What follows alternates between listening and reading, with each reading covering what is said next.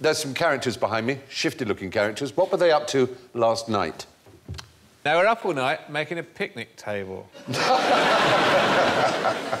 Before you get too insulting, they're in the studio tonight. I just thought I'd... They were, they were winning the Mr. Handsome contest. That's more like it. Were they um, hurt harming horses? You know, when they can harm horses, like slash horses? No. But they sla- But sla- it was a nighttime covert activity like, like Right, slashing goats. horses. They were slashing goats. No, let's let's assume we wouldn't invite into the studio Were they? people Yes, who I maimed suppose so, yeah, yeah. Were they pretending to be gas men and thereby stealing the property of aged people? No. You I- might. let me. If I told you that this was in Wiltshire, would that help? Cathedral stealing.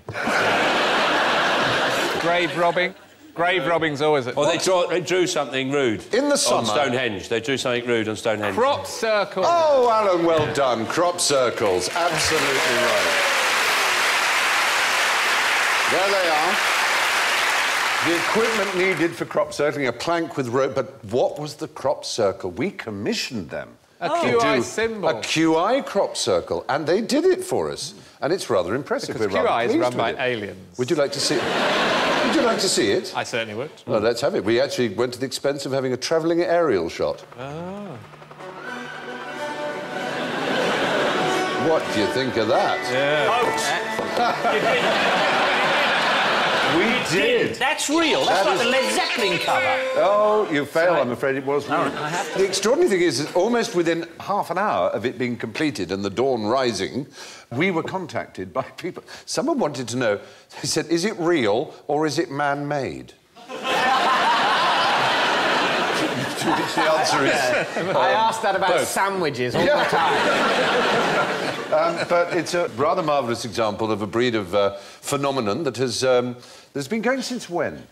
Is the farmer... Uh, is the, the farmer 80s. here tonight? we have well? recompensed the farmer. It doesn't actually Oh, do much but how damage. many, how many mice were frightened in the making of that? We can't tell how many I'll, mice were I'll bet this is older than we suspect. It's actually very recent. Is it? It, it is really, yeah. 80s? Um, well, 70s it began and it got more and more refined. There was a man like called... Pizza Express. There were a couple called... Yeah. There's a fellow called Doug Bower and Dave Chorley, and they admitted that they'd been responsible for almost all the crop circles. They used to be on the news Yeah, every summer. There'd be Yeah. aerial shots, and there were uh, people who called themselves cerealogists who genuinely believed that these were the work of, uh, of people from outer space or from magnetic forces from ley lines or all kinds of nonsense. They'd of do things like they'd do a crop circle and then they'd leave a couple of scorch marks or something. Yes. the engine... Well, engine had um, blasted off back over into night. We've got. Where are our three here? Put your hand there. Look, is that John? John Lundberg. Yeah, Is that- there you are. There's John. Can you can you tell me how you did yours without giving away too many trade secrets? What's the most technological item you need? Uh, we need something called a stalk stomper, which is a plank of wood and a loop of rope that you put under your foot to flatten the crop. And to actually mark out the design, you use a surveyor's tape. So it's very, very kind of simple techniques and very t- simple tools.